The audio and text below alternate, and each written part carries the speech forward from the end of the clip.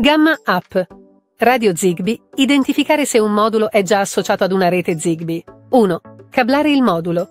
2. Dare alimentazione. All'accensione il LED del modulo è spento. Ciò significa che il modulo dispone già di un identificatore di rete Zigbee. All'accensione il LED del modulo è acceso e fisso. Ciò significa che i moduli non hanno un identificatore di rete Zigbee. Quando acceso, modulo senza rete Zigbee. Modulo con rete Zigbee.